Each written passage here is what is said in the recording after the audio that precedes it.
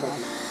えー、とそれでは今回はですね、えー、15年ぶりにラジコン復帰で、えーまあ、完全にうちの動画ではシリーズとなっている、えー、中志さんの方のご紹介になります、えー前回は、えーナックル2度を入れたということでしたが、はい、今回は何が変わったんでしょうか？はい、えー、とナックルを1度にしてであとキャスターを1度。キャスター。このアッパーアームをあのオプションの方に書いてキャスターがつくようになったはいってことですよね。はい、はい。ちょっとそれでですね、ちょっとここはみここは取っとかないといけないと思うんですけれども、1って書いてありますね、これ。はい。これ樹脂じゃないんですよね。はい。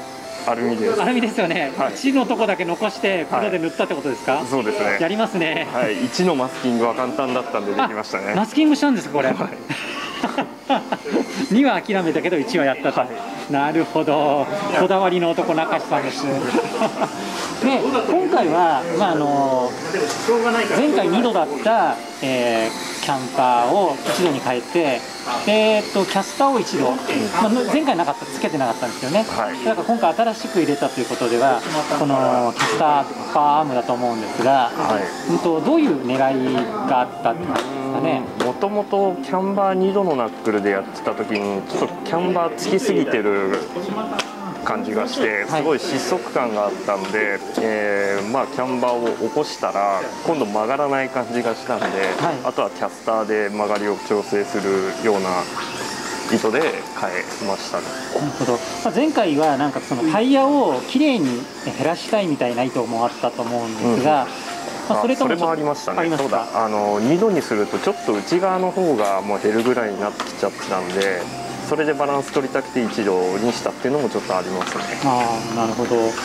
でまあそれであの勝ってた分曲がらなくなったのを今度キャスターの方で調節したと、なるほど。ではちょっとどういう走りになったのか走っていただいてもいいですかね、はい。すいません。お願いします。はいそれではお願いしますこのレイアウトもちょっと随分慣れてきちゃったんじゃないですかね走り込みましたねですよね、ずっとこのレイアウトですよね、今。まあ、ただ、7月の11日にいよいよ、えー、とスーラジの方もですねナイトレース開催ということで、もうこのレイアウトもそれまでになりますので、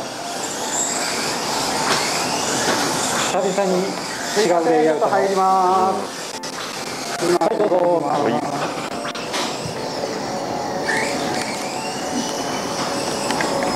すいません。はい。キ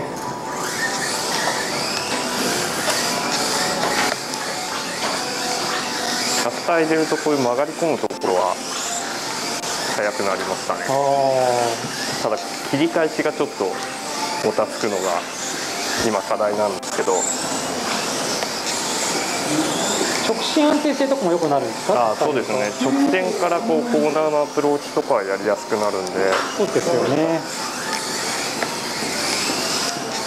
キャスターつくって言って、うん、なんだろう、詳しくない人って分かりますかね？要は自転車とかを、まあ、意識してもらうと分かるんですけどね。そうですね、こうなんか斜めになってるっていうんですかね。なんかママチャリとマウンテンバイクみたいな違いですかねこうより速度が出た時に安定感が増すのかなみたいなイメージが僕の中ではあるんですけども、うん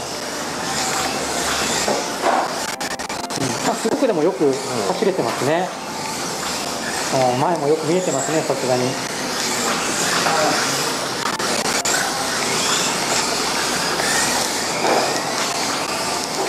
ちょっとこう切り返しでもたつくのが気になるところなんですけどね、タイム的にはどうですか？うーんどっちも変わらないんですけど、あのー失速感がないのとひっくり返りづらくなったっていうのがあるんで今こっちでやってますね。なるほど誰かと一緒にこう走ったとかそういう練習はまだしてない感じですか？はい。こういう練習の時にこういうバトルを今みたいにやってるっていう。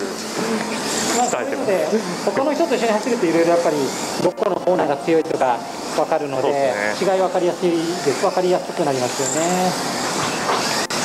なるほど。じゃあここで最後の週ということでお願いします。はいはい、ありがとうございました。